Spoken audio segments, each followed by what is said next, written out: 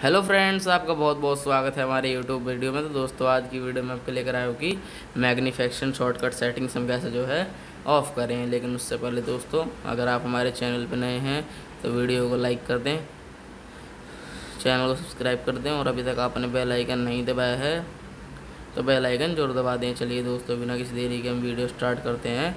सबसे पहले आपको अपने फ़ोन की सेटिंग्स में जाना है। सेटिंग्स में जाने के बाद दोस्तों, यहाँ पे आपको देखने को मिलेगा।